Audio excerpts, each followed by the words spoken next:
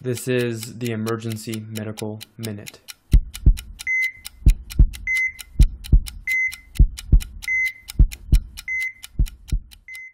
All right, so um, somebody asked me on shift yesterday why we don't use IV Tylenol.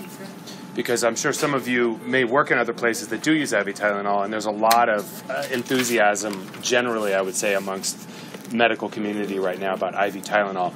And, you know, I've had a back and forth with hospital pharmacy and therapeutics committee for some time about this question. And there was a relatively recent study that looked at this very nicely. So uh, I'm going to speak just very briefly about a, a randomized controlled trial of IV versus oral Tylenol in Australian emergency departments published in October.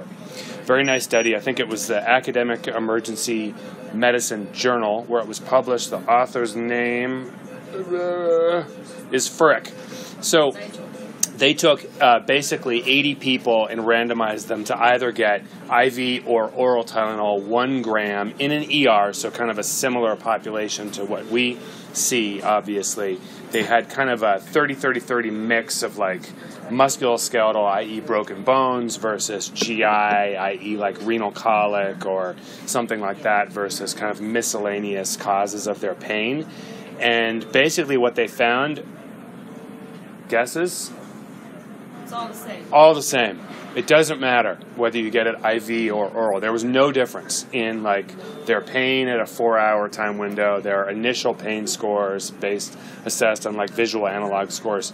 So while IV Tylenol is not that expensive, the acquisition costs for hospitals in the U.S. are about thirty dollars a dose, as opposed to like ten cents a dose for oral Tylenol.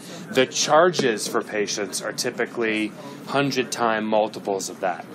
So there are real costs associated with IV Tylenol, mostly passed on to payers and patients, not not necessarily eaten by by hospitals. But I think based on this study, it kind of supports what I've been kind of told and pushed back on by P&T committees in the hospitals now for a couple of years, which is that while IV Tylenol sounds pretty sexy, there really isn't a lot of evidence to say that it's any better than just a, a gram of, of PO Tylenol. So I have to say this does change how I think about practicing. It hasn't been available to me. I've never practiced with IV Tylenol. Based on this, I probably won't. So thank you.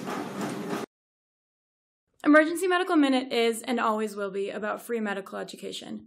Medicine's most prolific podcast is successful because of our supporters, donors, and of course, our listeners. Please like us on Facebook and follow us on Twitter. And if you support spreading free medical education, please donate at our website, emergencymedicalminute.com. As always, keep listening.